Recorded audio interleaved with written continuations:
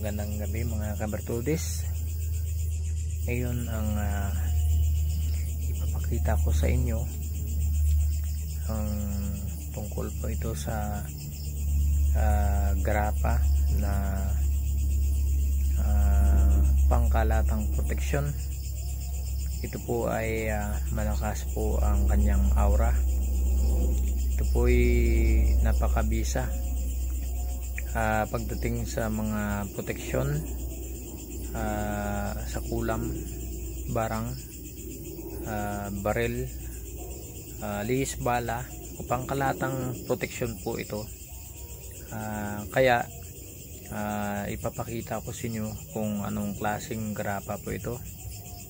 Uh, ito po ay meron po siyang uh, palaman o mga ora nasa loob. Ito po ay napakalakas ang aura. Uh, ito po ay umiilaw. Uh, o di kayo nag uh, kumakarap. Po umiilaw po siya gumaganon. Makikita nyo po ito. Uh, ngayon uh, ipapakita ko sa inyo kung anong klaseng grapa po ito po ay napakaliit na maliit na garapa. Ito ay pwedeng gamitin. Pwede mo siyang gawing gwintas pwede man gawing habak o pwede mang ilagay sa bag o ibulsa pwede din. Pwede din ilagay nyo sa keychain uh, pwede mo i, i lagyan mo ng uh, telang pula para di siya masyadong halata kung anong laman. Uh, ito ay napaka uh, lakas. Kaya ito ipapakita ko ngayon uh, para makita nyo po kung sino po yan ang uh, kukuha ng mga ganitong uh, bagay na protection uh, welcome po kayo. Uh, pwede na kayo mag message kung uh, mag-message po sa aking messenger para kayo ay makakuha ng mga ganitong uh, protection uh, pangkalatang protection po. Uh, magandang gabi sa inyong lahat. At shoutout na lang po sa mga subscriber natin mga vloggers natin viewers at uh, sa mga uh, gusto pala magpagamot uh, online. Uh, message nyo lang po ako sa aking uh, messenger para kayo ay uh, pwede din natin matingnan kung kayo po ay may tama spiritual o physical para at least uh, kayo po ay uh, kampante. Uh, kung yan po ang inyong sakit ay uh, gawa lang po o gawa ng uh, uh, mga demonyo gawa ng kulam barang uh, o sinasalbahe po kayo o pinapalipad hangin kaya ito po ang uh, sagot sa mga katanungan nyo. Mag message po kayo online sa akin sa aking messenger. Kaya uh, ito muna ang ipapakita ko sa inyo ang aking gawang grapa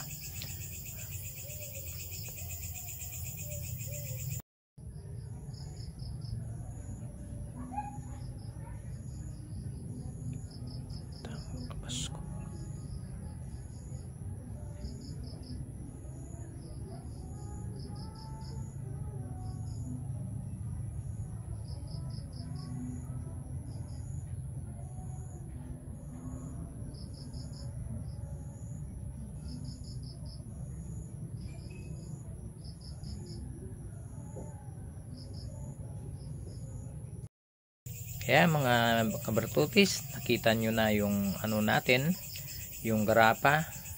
Kaya kung sino dyan willing magpapagawa ng kanyang garapa, message nyo lang po ako sa aking messenger. At kung sino ang magpapagamot uh, sa akin, uh, magpapagamot po, spiritual, Ah, basta kayo po ay ah, duda sa inyong kalagayan o nagpa-hospital kayo at uh, negative po kayo sa inyong resulta. Kaya kung ano at kung sino dyan nakaramdam o may sakit sa baga may tubig yung baga PM nyo lang ako sa aking messenger.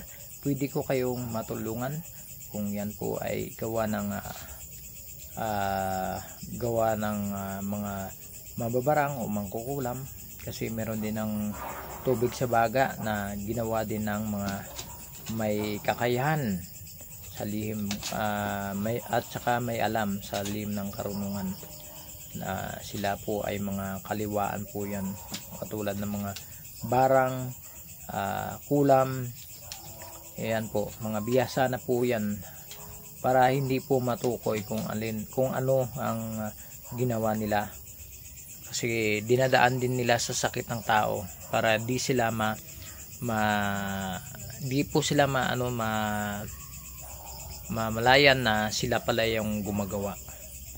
Kaya maraming salamat. Paalam muna tayo. God bless po sa mga kaibigan natin dyan mga vloggers. Uh, shoutout na lang sa lahat. Ah, ingat kayo lagi. Ah, ingat po sa ah, ngayon papasok yung bagyo kaya mag-iingat po tayo sa tabing dagat at ilog. At especially sa lindol mag-iingat po tayo. Dahil ah, may napakalas, napakalakas na lindol po na mangyayari. Kaya ah, sub- sub- subaybayan nyo lang po yung ah, aking mga post sa aking ah, ah, Facebook.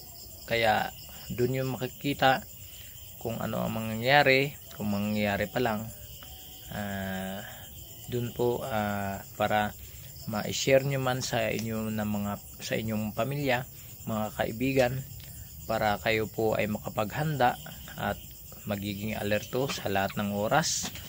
At lagi po lang po tayong magdasal sa ating Diyos Amang nasa langit. At maraming maraming salamat. Ah, paalam. Magandang gabi. God bless po sa inyong lahat